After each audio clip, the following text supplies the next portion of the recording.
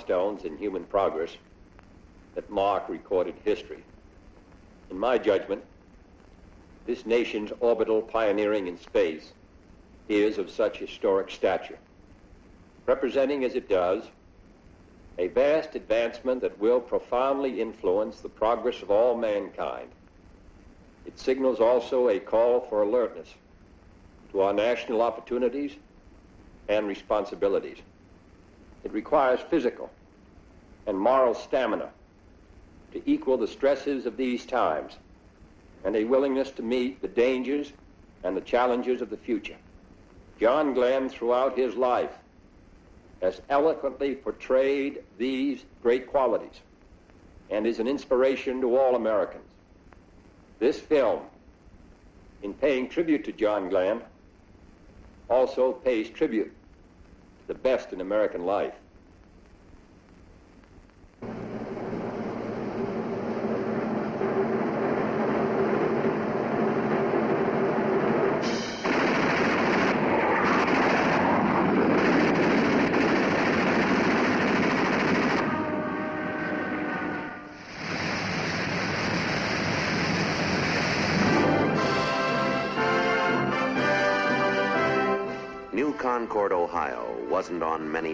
Until February 20th, 1962.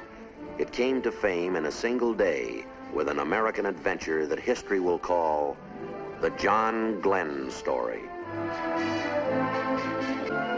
Fashioned in the American image, this pleasant little city typifies a nation's ideal way of life. A man might make a good life here in the circle of family and friends. And a boy might let his imagination soar.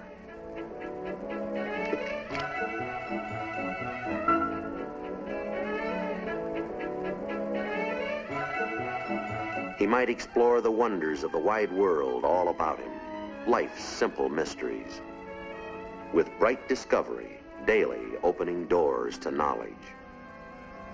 He can look away to distant places, to exciting adventures hidden only by the horizon and the future.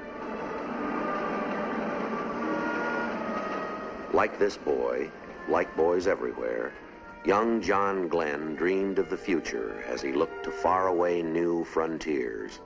Why, he might even learn to fly. This town and these people, they knew John Glenn as a schoolboy, as a teenager, and as a neighbor. Like Mayor Taylor, they followed his career as he blazed a trail across the high sky.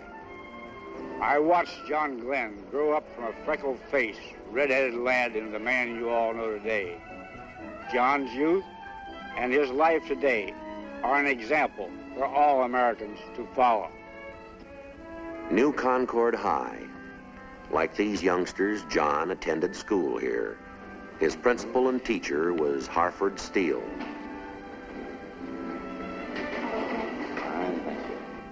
He was an excellent student, and he graduated with honors from our high school. I taught Johnny and hundreds of others that our democracy is a priceless heritage, and that we should preserve, protect, and if at all possible, make some contributions to it. He has made a significant contribution in his mission in space. And this fine new school in New Concord, it's the John Glenn High School, with its first graduating class receiving diplomas. Young John helped his father about this shop when he wasn't in school, or acting as lifeguard in the summer at High Y Camp or at college. John went on to college at Muskingum, right in New Concord. The high regard of the college is expressed by its president, Dr. Glenn McConaughey. John's uh, conquest of space has captured the hearts and the imagination of all Americans.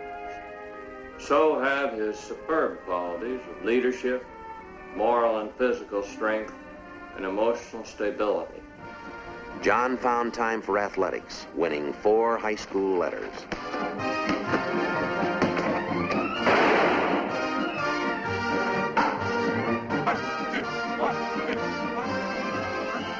Muskingum coach Ed Sherman recalls John Glenn's athletic record. John played football right here on this field. He was captain of his high school team and played center for the college. He has proven the value of teamwork both as an athlete and later as an astronaut.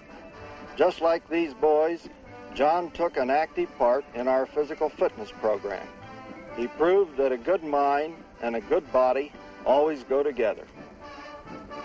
Campus discussions are inspired by the first orbital flight of an American. I think that John Glenn, by his flight, has given us an opportunity to see that well, we have a chance to do something for our nation, too. Maybe I'll even go somewhere sometime. We have the same opportunities that he had. Glenn proved by his flight that there are still many frontiers to be explored and conquered. And that just shows how very vital our education is if our future is to be go. Glenn always had a strong spiritual side, as Dr. Charles Moorhead recalls. John Glenn attended Sunday school and services at this church when he was a boy like Randy Bradley here. Let's attend services for a moment at John Glenn's church.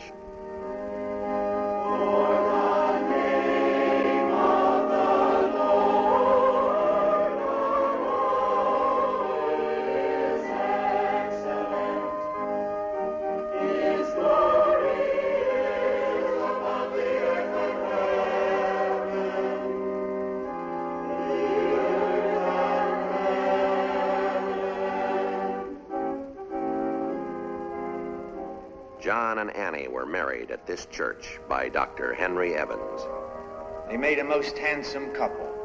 John in his Marine uniform, Annie a beautiful, happy bride. They both recognized the importance of the spiritual things of life as well as the mental and physical. The trial is also great for those who wait, as recalled by Annie's parents, Homer and Margaret Castor. Johnny's orbital flight was a real test of courage for Annie, too. She was a very brave girl. Annie had complete faith in the space program, just as she had confidence in everything Johnny set out to do. This house was home for John Glenn. John Glenn Sr. and Mrs. Clara Glenn are gratefully proud of their son's accomplishments. John was fully prepared for his orbital flight, as were the other astronauts and the entire team. In a way, John has been preparing all his life for his venture into space. As a small boy, his idea of a holiday was a visit to the airport. And when he grew up, it was no surprise to us when he decided to learn to fly. Flight commanded young John's major interest. He had to learn to fly. World War II interrupted college. He received his first flying lessons from pilot Harry Clever.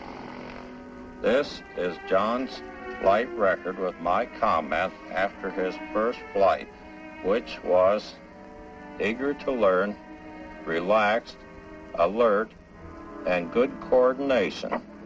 He certainly has retained these flight qualities right into outer space.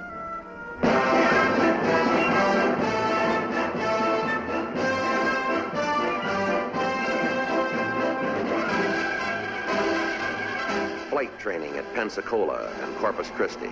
Many aviators have won their wings here. Like these cadets, John went on to Corpus Christi, Texas to learn about airplanes and navigation, with time also for physical conditioning and sports, and for religious inspiration. Like these naval aviators, to win his wings. The Navy's thorough training prepared Lieutenant John Glenn for wartime action in the South Pacific.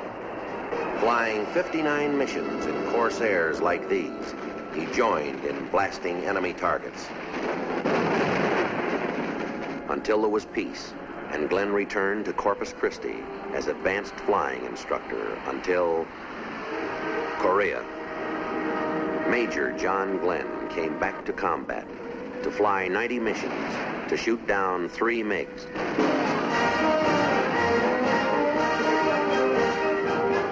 Following Korea, John Glenn came home to flight test the supersonic F-8U Crusader, to flash across the nation, California to New York, setting a supersonic speed record of 3 hours and 23 minutes. with experimental thrusts toward speed and altitude. The limitations of time and distance were being brushed aside as experimental planes like the X-15 launched from its Air Force mothership rocket to record-breaking altitudes and speeds. Unmanned experimental flights and orbits pressed onward until it was time for man to orbit, until the word was go. Chosen from many Americans who answered the president's call, these astronauts dedicated themselves to study, training, and physical conditioning. With Alan Shepard learning about weightlessness as it will be encountered in outer space, and Gus Grissom becoming acquainted with the stress of greatly increased gravity as Wally Schirra masters manual spacecraft control.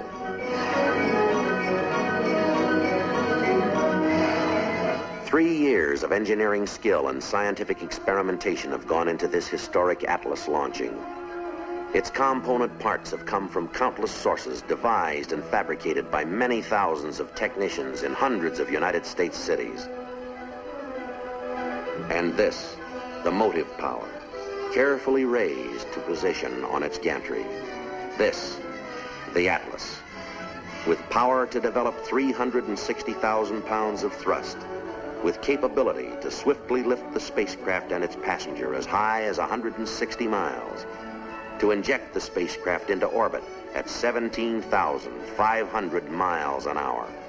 And now the word is go as the spacecraft is lifted into its position atop the Atlas. This spacecraft, six feet across at its widest heat shield end, 10 feet tall, built to withstand heat shield temperatures of 3,000 degrees Fahrenheit as the wind rushes by at more than 15,000 miles an hour. As the astronaut prepares for space flight, for adventure into outer space.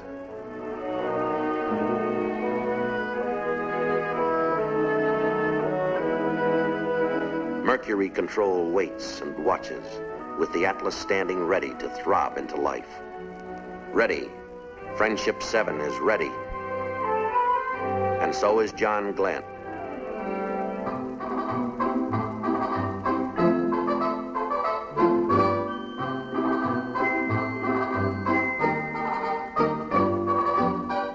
Gantry, elevators lift Glenn to the 11th level, the spacecraft level.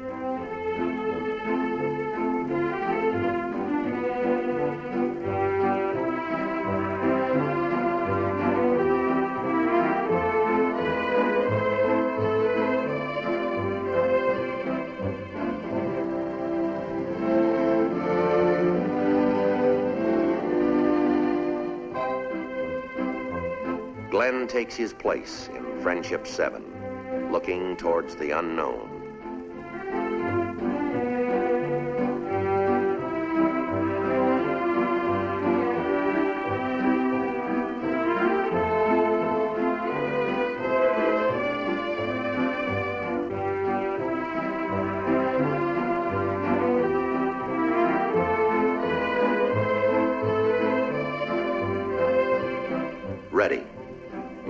Atlas is ready, and so is the astronaut.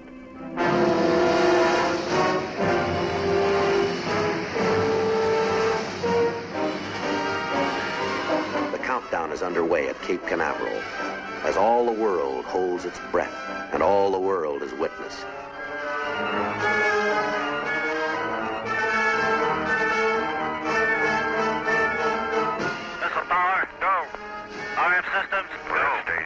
Propulsion, go. Mercury capsule, no. All three start panel lights are correct. The ready light is on. Eject Mercury umbilical. Godspeed, John Glenn. Five, four,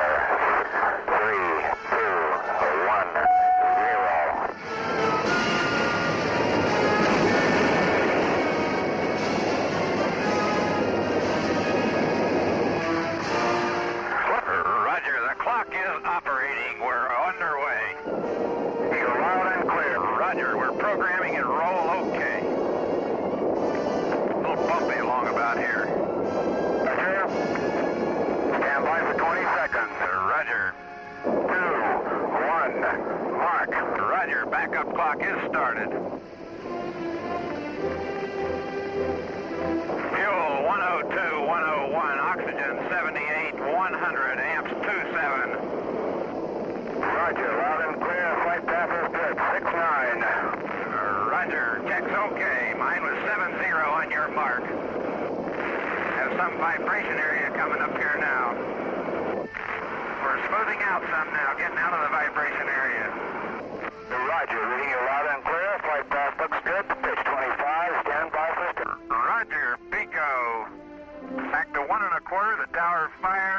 Not see the tower go. I saw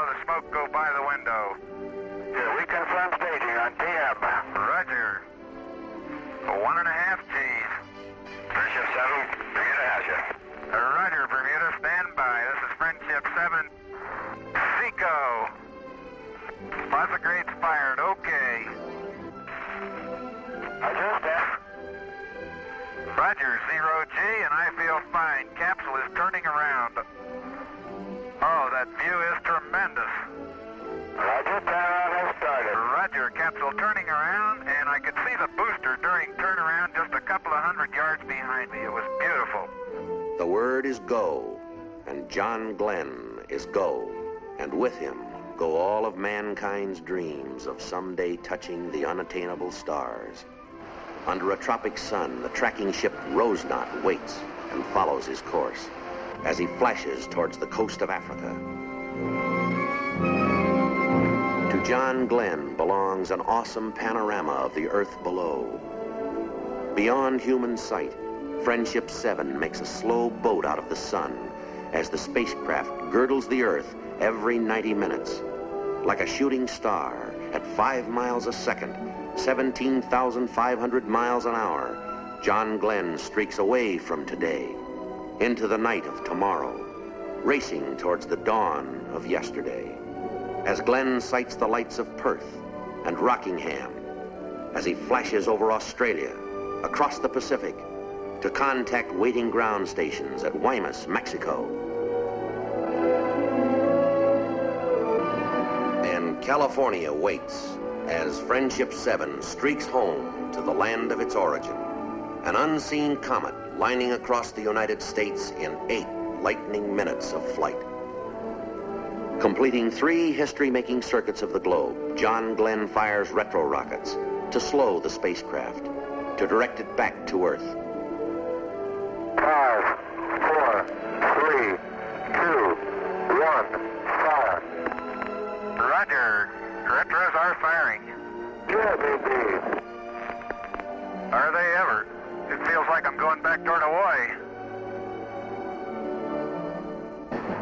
First ominous note, the first warning of possible disaster.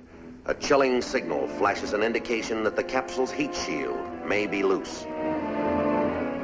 The astronaut might perish like an earthbound meteor in 3,000 degrees of re-entry heat without the heat shield. Strapped over it, the retro pack might hold it in place. Cape Canaveral makes the decision.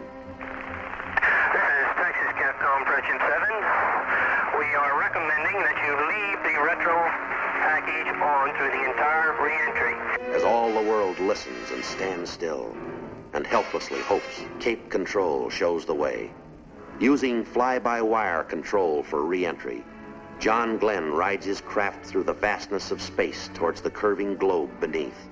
As science in its amazing exactness selects the Caribbean from all the oceans of the Earth to receive Friendship 7 as it blazes into the Earth's atmosphere. This is Friendship 7, a real fireball outside. A fireball. The fiberglass surface of the heat shield is starting to oblate, to melt and vaporize as a glowing electrically charged wake streams back to block off communication as the Earth's atmosphere slows the capsule's descent.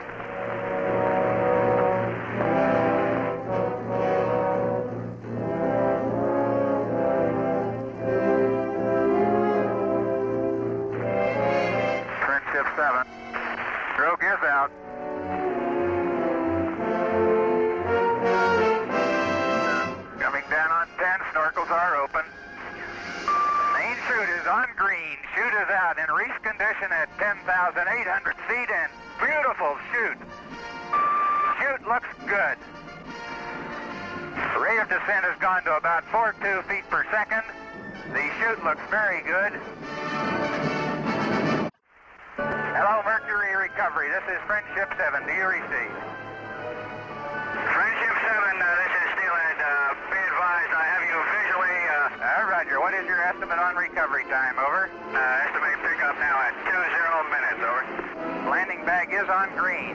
Friendship 7, ready for impact. Almost down. Here we go.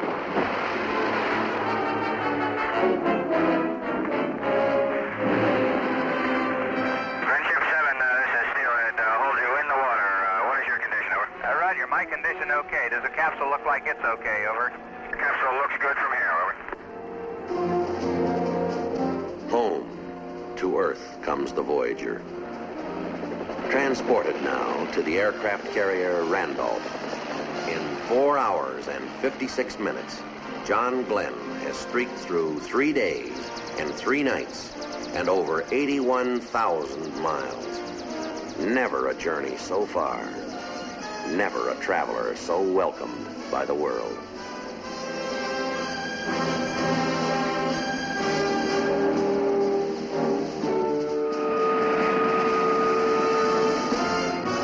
So brief a journey in time.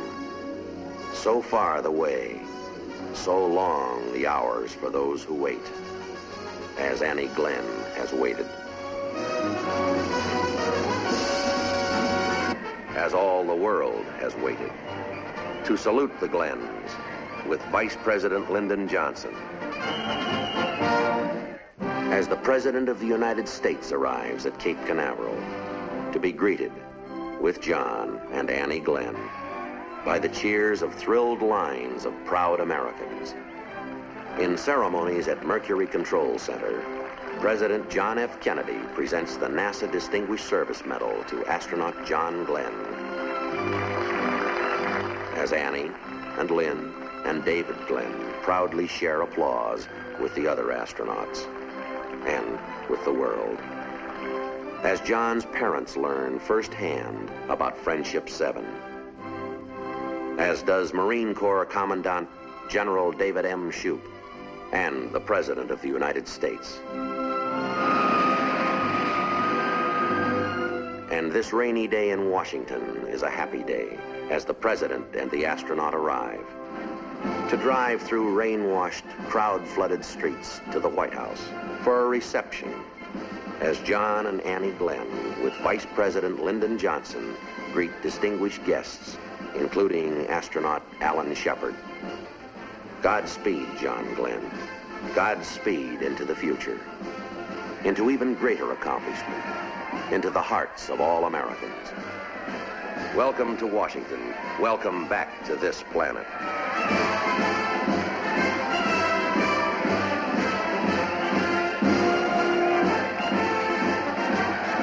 From the nation's capital to the towers of Manhattan, to the ticker tape parade of New York. Cheering crowds roar a mighty welcome, shared by all Americans, by free people everywhere.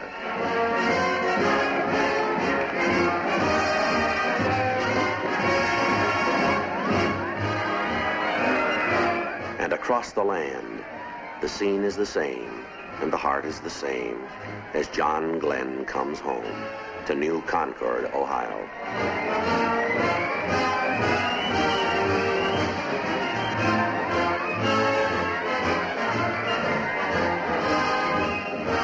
At the Capitol, there's an introduction by the Speaker of the House, the Honorable John McCormack.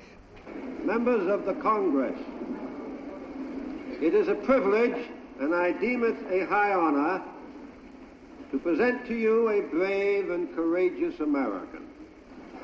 A hero in World War II and in the Korean conflict, who recently, in a most notable manner, added glory and prestige to our country, the first United States astronaut to have achieved orbital flight, Lieutenant Colonel John Herschel Glenn, United States Marine Corps. Colonel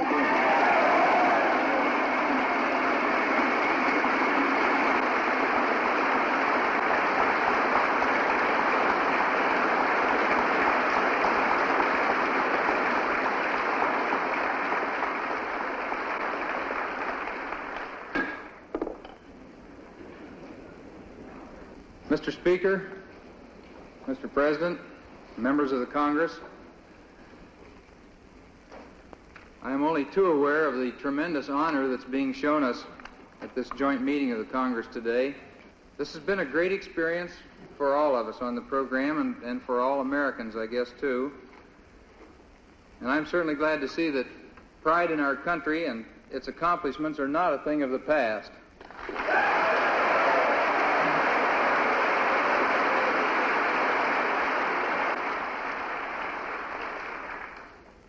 I know I still get a real hard to define feeling down inside when the flag goes by, and I know all of you do too.